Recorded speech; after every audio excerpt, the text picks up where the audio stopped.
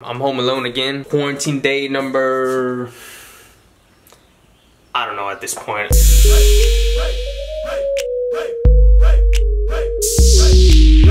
Today is a sad day for me because uh, I'm getting rid of my iPhone 8 Plus. I'm gonna sell it because I have two phones. I got this one, then I got my XR. I've had it for two, more than two years. I love this phone, but I'm sad, I'm sad. You know, but changes are good. Okay, it's not that serious, come on. Ash, what the heck is wrong with you?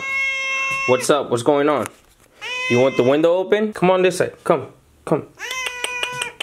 Come on this side. Oh, what did I do to you? No.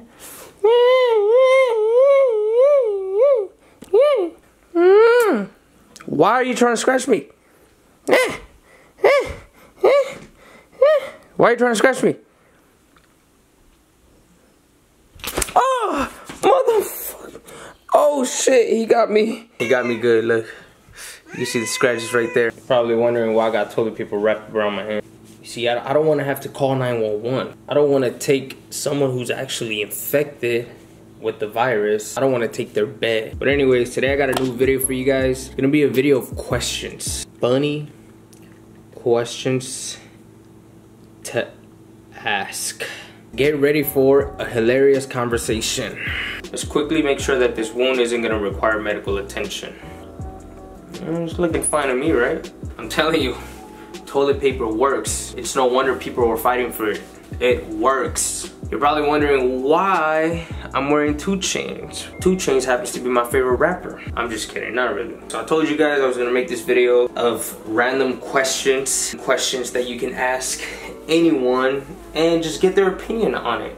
That's really what this video is about. You just just to get people's opinion. You don't have to be smart. You don't have to have to have a diploma to be able to answer these questions. You don't have to have a college degree during this whole quarantine thing you know i found myself bored so today you know i'm gonna give you guys something entertaining something entertaining to watch while you guys are quarantining with me okay so these questions you can find them on google type in 25 funniest questions to ask someone. The best 10 questions to ask a guy. The top five important questions to ask a girl. Anything. Alex isn't here today, so I gotta make this video by myself. We don't need her to be entertaining. We don't need her to make this video any more entertaining than it already will be. So it's okay.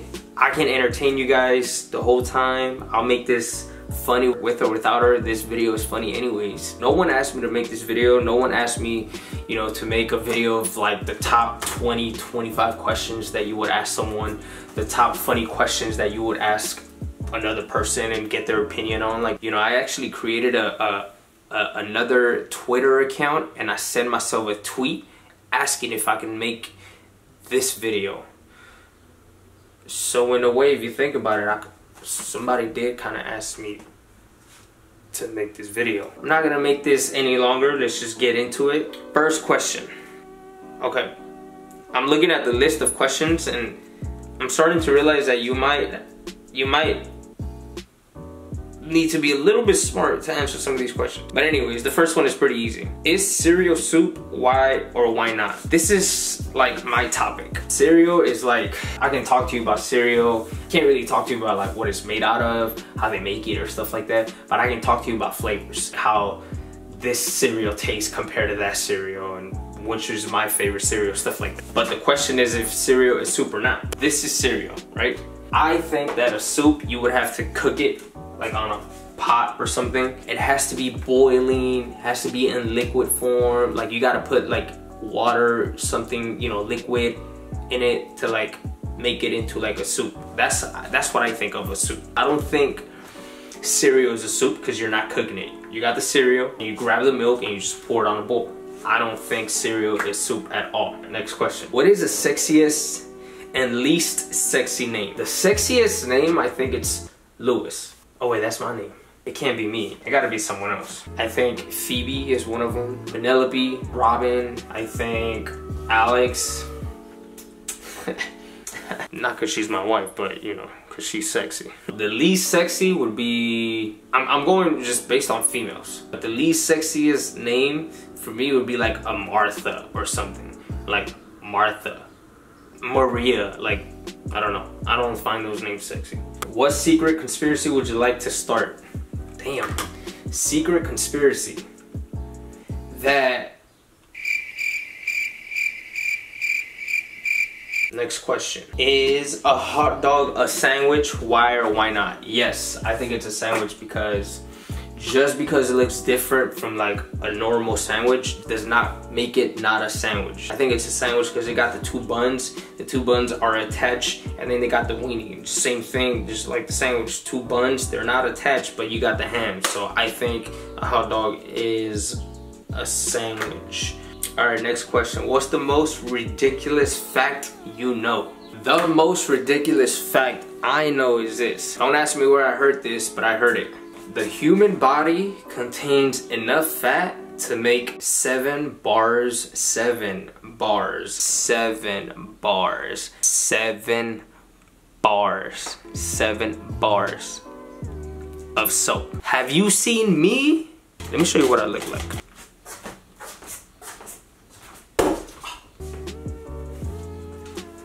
Does that look like seven bars of soap to you? My body contains seven bars of soap. Look how skinny I am. Like, that's the most ridiculous fact I've, I know. This body right here, that's more like two bars of soap right there. What is something that everyone looks stupid doing?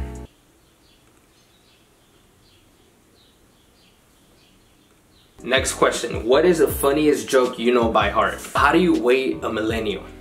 in Instagrams. How do you feel about putting pineapple on pizza? If my pizza doesn't have any pineapple, I don't want to eat it. Like it feels dry. I think pineapple can coexist with pizza. And for those who don't think so, you probably just like your food dry or something. I, I, at least gotta have some pineapple. Without it, it just wouldn't taste the same.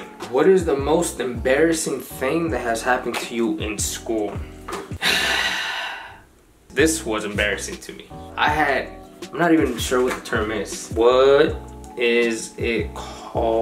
Is is called? Is it called when you want to fart all day? Flat flatulence flatulence can make you feel uncomfortable. You have excessive flat flatulence if you fart more than 20 times per day. It's actually called, for those who don't know, if you don't know, I'm about to teach you a new word. It's called flatulence. Flatulence. Am I pronouncing that right? All right, let's see if I'm saying this right. Flatulence. Flatulence. So I had flatulence and I couldn't stop. I just couldn't stop farting because my stomach was hurting and I was sitting like this, like with my butt sticking out like this on the chair. And so my butt was sticking out and behind me there was uh, this girl that I had a crush on. You know when you feel like you want to fart, but you don't want to fart because you don't want anyone, you don't want your classmates to hear your fart. So I couldn't hold it. Well, I'm gonna just be honest with you, I couldn't hold it. So I I blanked out because I was talking to the classmate in front of me. I was having this whole ass conversation. For some reason, my brain made me think that I was home. And I wasn't. All of a sudden, everyone goes, it took me about five seconds after I released the fart that I realized that I was actually in school. As soon as I realized, I kind of like balled up like of embarrassment and everyone was like, and everyone stood quiet and there was like this moment of silence when I realized that the girl I had a crush on was sitting behind me and I farted on her. Anyways, make sure you guys subscribe to my channel, hit that notification bell. I probably shouldn't have shared that story.